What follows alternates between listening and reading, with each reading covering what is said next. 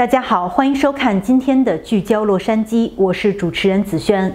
下面来关注一下美国退出世卫组织引发广泛批评的新闻。美国退出世界卫生组织的决定受到了美国许多政治家和专家的谴责。民主党参议员鲍勃·梅嫩德斯表示，该法案将让美国人生病，让美国孤独。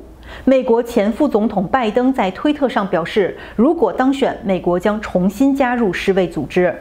美国参议院卫生委员会主席拉尔玛·亚历山大发表了一份声明，反对特朗普的决定。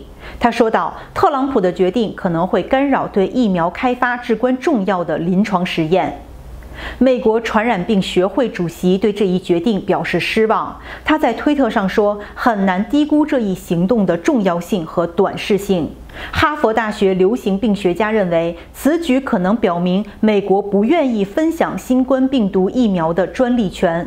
他说道：“他们想要优先权，而且如果他们加入世界卫生组织，加入该组织将不得不放弃某些专利权，而美国公司不愿意这样做。”美国希望首先确保自己获得疫苗，因此他倾向于在另一个群体中与英国合作。